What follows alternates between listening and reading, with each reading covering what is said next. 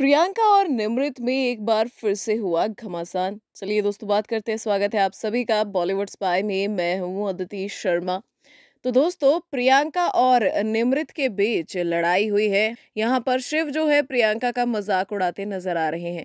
वो कहते नज़र आ रहे हैं कि वो बाहर आई, उसने बहुत सारे मुद्दे ढूंढे और फिर उसने अपने अपने जाल में किसी को फंसाने की कोशिश की।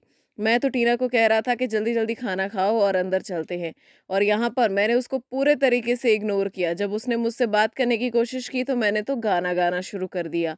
अब हम सब तो वहाँ से निकल गए, लेकिन फंस गई निमृत।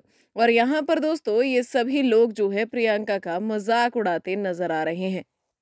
और शालीन यहाँ पर ये कहते हैं कि चलो हम हँसते हँसते बाहर जाएँगे। मतलब एक किस्म से एक बार फिर से बुली गैंग साथ आ चुकी है और प्रियंका को बुली करने की कोशिश कर रही है। आप सभी को क्या है कहना, कमेंट्स में ज़रूर बताइए।